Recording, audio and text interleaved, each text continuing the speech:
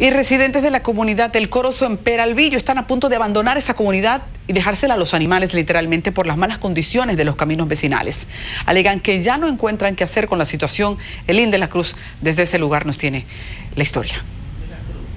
Nota que tú te quedas, los ríos cae una llovinita y una vez tú te quedado, no tienen puente ni nada, ninguno. El mal estado de los caminos vecinales son el principal problema que frenan el desarrollo de la provincia de Monteplata ya que la situación amenaza seriamente a los productores agrícolas, pecuarios y a la producción local en sentido general. Que si va a llover, ya nosotros no vamos a salir a recoger cacao, por la situación de que no queremos volver a ver una situación como yo me vi, nadando río abajo en una camioneta que me sabía por suerte, porque la río se me la llevó con todo. En ese bendito puente se voltean los vehículos y se caen, que se, han llegado momentos que, que se han tenido que salir a buscar grúa para rescatar los camiones. Los camiones cuando llevan la carga de cacao, los sacos, se devuelven, especialmente en la Usama, que hay muchos videos por ahí de, de vehículos que se han devuelto y que se han volcado siendo los productores de cacao los más afectados por la problemática